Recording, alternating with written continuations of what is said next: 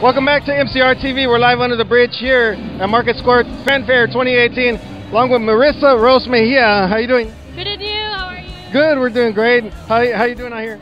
Um, it's really hot. Well, it's humid. It's not that hot, but I'm just so excited.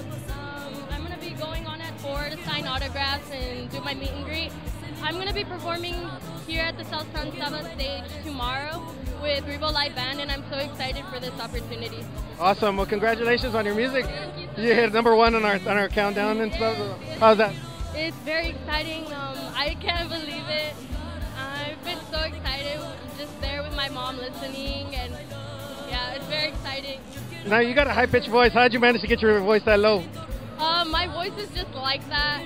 Like when I sing, it's so much different. It's like I don't know how to explain it. When I sing, an, I'm a completely different person. When I sing, I get this feeling that I can't get anywhere else when I do other things. It's just I tend to be myself when I sing.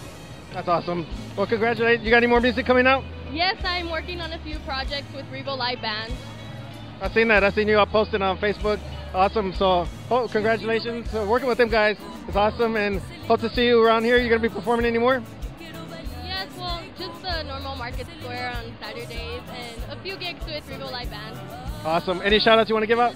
Um, a shout out to my family in Nicaragua. They're always supporting me, always voting for me. Thank you so much. Shout out to my sister Crystal. Um, she's always supporting me. She's always there for me. Somebody that I love very much. So shout out to you, Crystal. I love you so much.